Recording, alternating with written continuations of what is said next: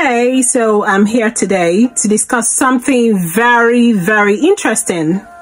Okay, a lot of us will love it, and a lot of us are going to frown and say things like, She's only saying this because life is good to her. I get to hear a lot of that, and it cracks me up. You know, it cracks me up when someone insinuates that I'm lucky, I am so blessed, I cannot relate to the things that the everyday people feel. That's so, so funny.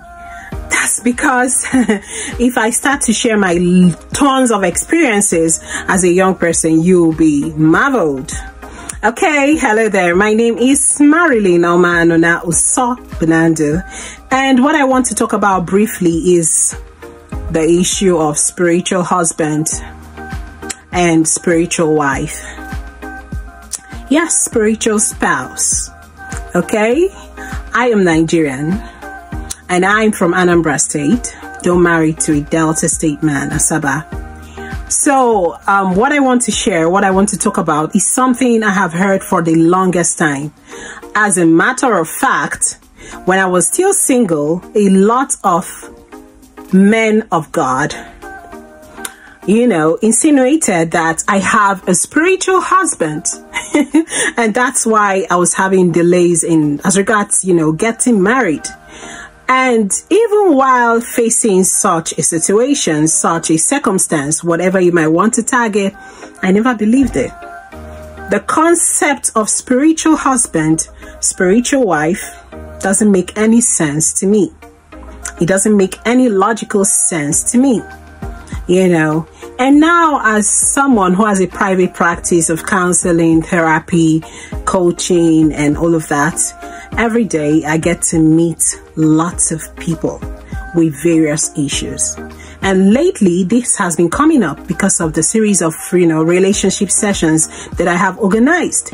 And sometimes when you tell these ladies, it's mostly the women though, that this is not a problem with you. This is not the issue with you. Okay. Just relax. Make sure you do the right things, be of good conduct, and everything will fall in place when it is time. Okay. They don't listen to you. So something happened lately and it's about a certain lady. You know, she's always coming to me. She wants to attend my sessions and for every time she's attended my session, she has told me, Hey, Oma, I don't have money. Things are not moving well for me. And as someone with lots of empathy, I think on one occasion, I even allowed her into the session free of charge. And as I speak to you, she has never paid more than 2,000 Naira for my session. You know. And she wants to book a private session, but you know, no funds. And I'm very big on not having my services free these days. And I said to her, I will not do a free private session for you. No, I won't. Okay? Keep attending the group sessions and keep practicing everything that we study and learn there. And so after the Christmas, you know, everyone got back to work and then she came to me one day and she was in such it was it was a des- she was so desperate to get to talk to me you know? And i said chill i'll talk to you. I'm somewhere okay? And when i'm done i'll i'll, I'll talk to you. And at the end of the day, I found out time to speak with her. And then she said to me that she went for spiritual work, you know, and long and short, she lost the sum of 500,000 naira because she went to do spiritual work. At first, I got very angry because this is someone who comes to me begging for free sessions. And then I asked her, So, you took a whole 500,000 naira to some spiritualist, a pastor, whatever title they may have. And now, why do you think you've been scammed? Because she said she's been scammed, you know. She said the man told her eh, before Christmas ends, XYZ is coming to pay her bride price. This, that, that is going to happen. Christmas has ended and she's been calling the man. The man is not taking his calls. The man sent him a message saying, your faith is not big enough. This, that, that, that. The spiritual husband is still holding you down. This, that, that, that. what a joke. Before I go on, let me share something with you because right now the economy is biting hard okay? And while we're trying to sort all the other issues in our lives we need to think of ways to make money okay? So i want to share something quickly with you. If you live in the united kingdom if you're a nigerian living in the united kingdom the united states of america canada australia united arab emirates i mean anywhere in diaspora this is something very interesting for you okay See, the economy is messed up globally, okay? And you don't want to spend all of your time, I mean, all of your time running shifts. You don't want to keep living paycheck to paycheck. We're all constantly looking for ways to better our lives. Let's let's face it.